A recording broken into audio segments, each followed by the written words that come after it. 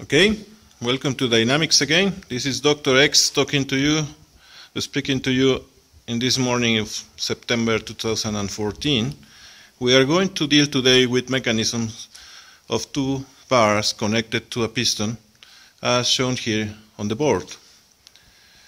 Uh, usually in these problems we know one of the angular velocities for the bar AB and we know the distances, the angles and the problem here is to find what is the angular velocity of bar BC connecting the piston to the other bar that is rotating about point, point A. We are going to solve this using the vector method. We have here our directions for the scalar Cartesian unit vectors i, j, and k. These are the positive ones. And before we proceed with the solution, we should point out that we know some facts just from the drawing of this mechanism. The first one is that the point A is rotating, is a fixed point, and bar AB is rotating about that fixed point A. Therefore, we should be able to find velocity of B. Bar BC, on the other hand, is having general plane motion because it's got a component of translation and also rotation. And finally, the piston C is just translating along this inclined plane defined by an angle theta p. Okay? So we have the three types of motion that we have seen last month and is rotation about a fixed point for bar AB, translation only for the piston, and general plane motion for the bar BC. So let's proceed with the solution using the vector method. Well, the problem is know, knowing the angular velocity of bar AB, find the angular velocity of bar BC and the velocity of the piston at C. We will apply the relative velocity equation expressed here in the vector form, expressing what we know, the angular velocity of bar AB as a vector in 10k, bless you, radians per second. We have here the position vector for the bar uh, that goes from A to B, expressed here with all the data we know. We make some operations and we get this vector.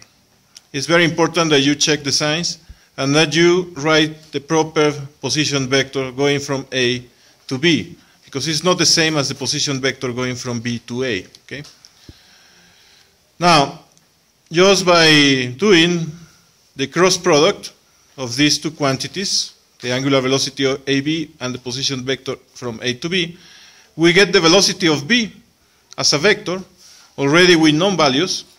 So this is the first step, finding the velocity of B starting from the angular velocity of AB.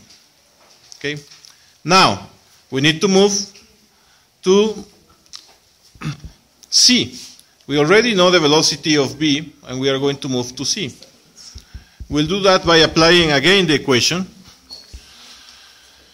And the step two, as I said, is to find the velocity of C from the velocity of B.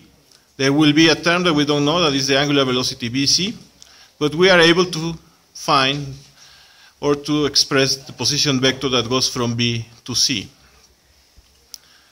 This is what we had as velocity of B.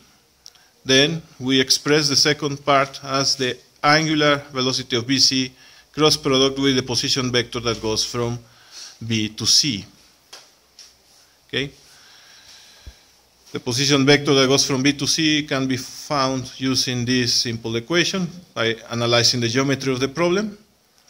And by making the operations, we get with this long equation by grouping all the terms containing I here with the terms containing J, we get this as the velocity of C in meters per second. But as you can see, there's a term here with a variable omega bc that we don't know its value, and we should be able to find it with another equation. This is the first equation. We number this as equation 1, and we will solve it now with another equation. So we can also express the velocity of the piston as a magnitude of velocity times the unit vector that defines this inclination or this direction given by this angle theta p. This unit vector can be expressed in this way, cosine of theta p times i plus the sine of theta p times j. This multiplied by the velocity of c, that is a magnitude, give us the velocity of c in vector form. And this will be our second equation for the velocity of c. By substituting all the data for this problem, we get this equation as the velocity of c. And this is our equation 2. But remember, we had already one equation here, 1 for the velocity of c. These two equations, 1 and 2, are equivalent. And by circling here in blue what is the coefficient for the vector i, with the same coefficient here for vector i in the second equation, we get an equation, scalar equation in this way because both coefficients should be the same. They should be given the same value. So we get this first equation with the coefficients of vector i, and we do the same for the coefficients of j in the first equation and in the second equation. So we get another scalar equation. As you can see, these two equations are simultaneous equations with two unknowns, omega bc and velocity of c. Solving this system of equations, you can use your calculator or whatever method you know to solve these linear systems.